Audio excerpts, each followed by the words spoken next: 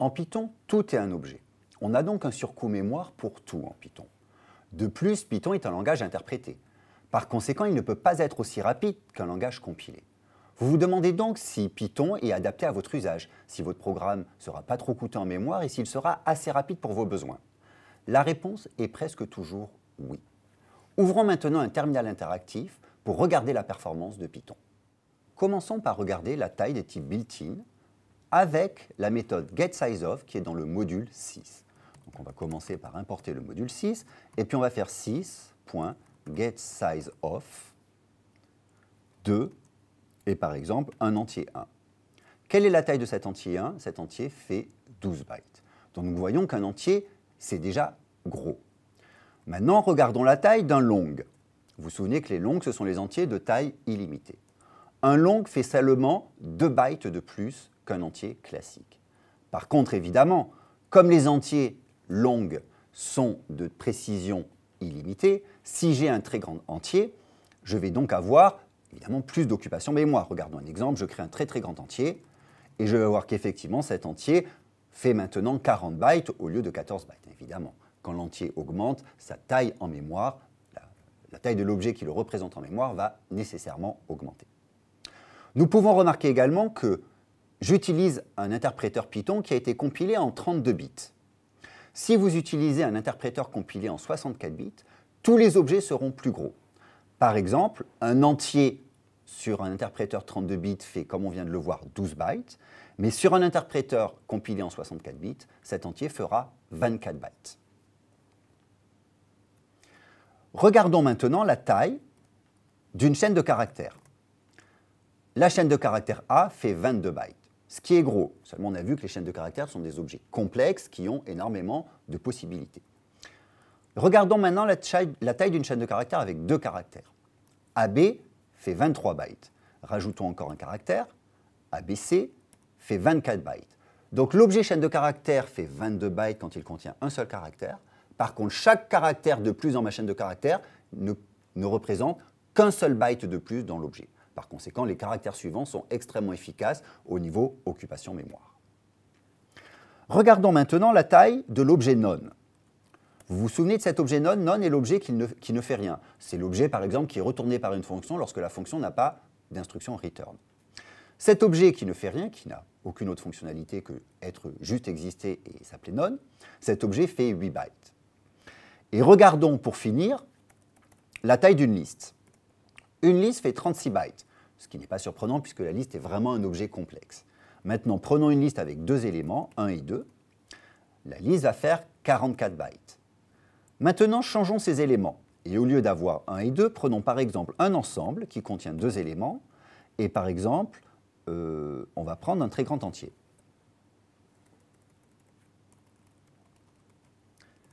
La liste fait toujours 44 bytes. En effet, je vous rappelle qu'une liste ne stocke pas les objets. La liste ne stocke que les références vers les objets. Par conséquent, quelle que soit la taille des objets, la liste, une liste qui a deux éléments aura toujours la même taille et fera toujours 44 bytes.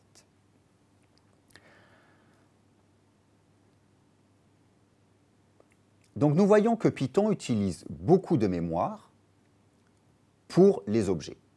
On pourrait craindre que cela représente un problème en pratique. En fait, ce n'est pas un problème en pratique, pour deux raisons principales. La première raison est que Python exploite partout le principe des références partagées. Par conséquent, on ne duplique jamais de manière inutile les objets. Quand on a besoin de plusieurs références vers un objet, on utilise les références partagées, donc l'objet n'existe qu'en un seul exemplaire. Par contre, on peut avoir de multiples références qui, elles, sont économes en mémoire. La deuxième raison est que, aujourd'hui, nous avons tous des machines avec énormément de mémoire. Et le surcoût que l'on voit de quelques bytes à chaque fois ou de quelques dizaines de bytes ne représente presque rien par rapport à une machine qui peut être livrée avec plusieurs gigabytes de mémoire. Donc en pratique, même si notre programme Python va faire quelques dizaines ou centaines de mégabytes, déjà pour avoir un programme Python qui fait 100 mégabytes, il faut déjà avoir un programme extrêmement complexe contenant beaucoup de données. C'est un programme qui reste relativement petit par rapport à la capacité de nos machines actuelles. Donc rien ne sert de vouloir à tout prix optimiser l'occupation mémoire d'un programme si cela, a priori, ne change rien sur la machine sur laquelle le programme est exécuté. Pour finir, si vous avez un réel problème d'occupation mémoire, par exemple parce que vous manipulez des centaines de millions ou des milliards d'objets dans votre programme, ce qui peut arriver, il est possible en Python d'interfacer votre programme Python avec des structures de données que vous aurez implémentées en C. L'avantage d'implémenter les structures de données en C, c'est qu'on a une représentation extrêmement compacte. Et l'avantage d'interfacer ces structures de données avec du code Python est que l'on conserve une partie de la souplesse de la programmation en Python. Nous vous donnerons dans les compléments de cours des pointeurs vers des documentations expliquant comment faire ce type d'interface. Nous allons maintenant regarder la performance de Python. Et notamment, nous allons mettre en évidence quelques phénomènes surprenants, notamment pour des personnes qui seraient habituées au fonctionnement des langages compilés. Pour évaluer la performance de code Python, il existe un grand nombre de manières de le faire et des modules spécialisés pour le profiling de code Python, mais nous allons utiliser un module extrêmement celle qui est le module TimeIt. Ce module TimeIt contient une méthode TimeIt qui permet d'évaluer un petit morceau de code Python et de le répéter un certain nombre de fois. Et la méthode TimeIt va simplement nous retourner le temps d'exécution de ce morceau de code qui a été répété un certain nombre de fois. Donc regardons comment cela fonctionne. Je vais importer le module TimeIt et je vais appeler la méthode TimeIt dans mon module TimeIt. Ensuite, je vais créer une instruction d'initialisation. Ça s'appelle setup et setup va contenir par exemple un x égale range de 40. Ça, c'est mon initialisation. Donc, c'est l'instruction qui va être exécutée dans l'environnement du timeit, parce que le timeit n'a pas accès à toutes les variables de notre environnement courant. Donc, le timeit, c'est une sorte d'environnement clos, il faut le voir de cette manière-là. C'est un peu simplifié comme vue, mais on peut le voir de cette manière-là. Donc, dans le setup, on va initialiser les variables qu'on va utiliser dans notre morceau de code. Et ensuite, dans stmt, on va exécuter un morceau de code. Par exemple, est-ce que la chaîne de caractères A est dans X? Donc on va faire un test d'appartenance. Et ensuite, le, le, troisième paramètre de notre fonction, qui s'appelle number, va dire le nombre de fois que l'on va exécuter le morceau de code qu'il y a dans stmt. Et timeit va nous retourner le temps total de ce nombre de toutes ces exécutions. Donc ici, on va prendre 6 millions. 6, 1, 2, 3, 4, 5, 6. Exécutons ce morceau de code. Pendant que ce code s'exécute, je vais vous expliquer exactement ce que je fais comme J'ai créé une liste qui contient 40 éléments de 0 à 39 et je regarde est-ce que la chaîne de caractères A est dans cette liste? En fait, comment est-ce que je peux savoir si une chaîne de caractères est dans une liste ou qu'un élément est dans une liste? La seule manière de le savoir pour une liste, c'est de faire un parcours itératif de la liste. Donc je vais parcourir le premier élément. Est-ce que c'est égal au premier élément? Non. Est-ce que c'est égal au deuxième élément? Non. Au troisième, au quatrième? Est-ce que c'est égal au dernier élément? Non. Donc cet élément n'est pas dans la liste. Donc on voit que le test d'appartenance d'un élément dans une liste implique un parcours itératif de la liste jusqu'à ce que l'on trouve cet élément. Dans ce cas-là, on va retourner oui, il est dans la liste, ou jusqu'à ce qu'on ne trouve pas cet élément, et dans ce cas-là, on aura une erreur. On n'aura pas une erreur, on aura un test faux. Donc, cette exécution A in X est toujours faux, mais demande le parcours itératif de la liste. Lorsque l'on exécute ça 6 millions de fois, cela prend 9,6 secondes. Or, nous avons vu que les tests d'appartenance étaient beaucoup plus rapides sur les ensembles que sur les listes. Donc, convertissons notre liste en un ensemble. Comment je fais ça? Simplement, je vais mettre la liste dans le constructeur de l'ensemble. Et je refais exactement le même test.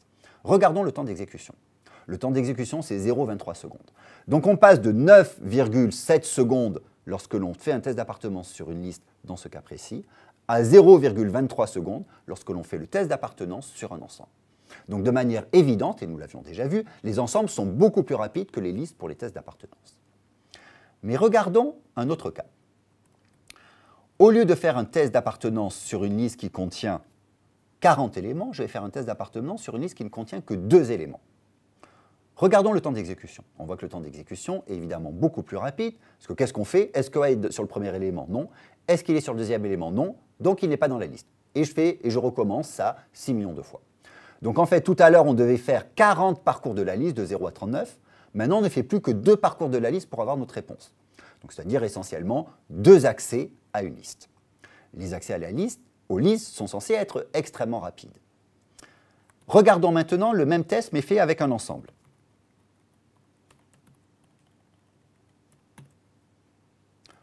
On voit dans ce cas-là que l'ensemble est encore plus rapide. Que va faire l'ensemble par rapport à la liste? L'ensemble fait le calcul d'une fonction de h. Donc la fonction de h, on voit qu'elle est très rapide à calculer. elle est plus rapide que faire deux axes, simplement deux accès à une liste. Un calcul d'une fonction de h pour un set est plus rapide que simplement deux accès à une liste. Maintenant, regardons le cas le plus favorable.